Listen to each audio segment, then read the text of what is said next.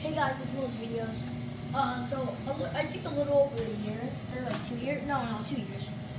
Over two years, I've had this uh, slot machine. But I, um, so my dad got it. I'm not sure how he got it. I'm Pretty sure he got it for free or something. Cause it doesn't work. But one time we, um, me and my sister, we were down here, and um, we, like he, he, we were watching him work on it, and it turned on and it was loud. But like, I don't even know how to work this thing. I really don't. So I can show you guys when it turns on. Okay, so. Okay, so. Okay, so if you can't see, I'm sorry. And it just stops. Here, record that again. Yeah, that's the popping noise when you turn it off or something.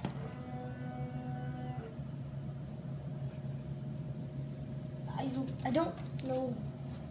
You put it up here. I don't really get it.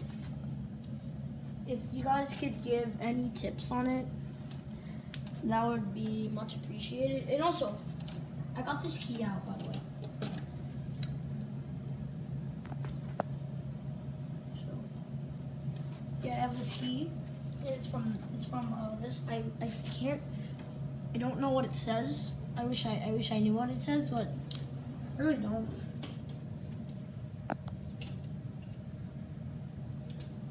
It looks pretty cool actually.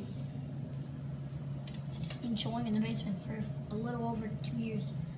So yeah, I just wanted to look at it.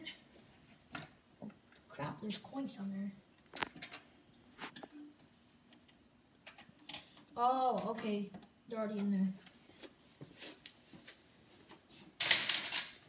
Here's uh the, the, the coins. They're not actually real coins. People know how to be rich, but still.